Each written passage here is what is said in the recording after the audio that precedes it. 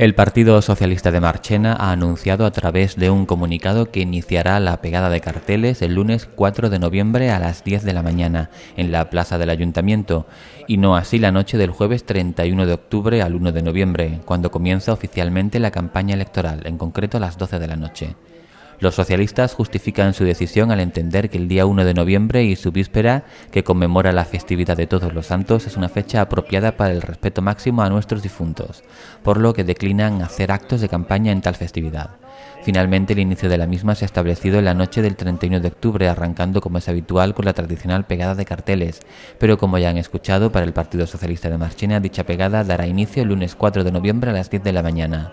Esta campaña electoral estará marcada por ser la más breve de los recientes procesos electorales, ya que su duración será de tan solo una semana, según se ha establecido, y no de 15 días como es lo habitual. Si se hubiesen seguido las pautas de siempre, la campaña daría comienzo este mismo jueves a las 12 de la noche.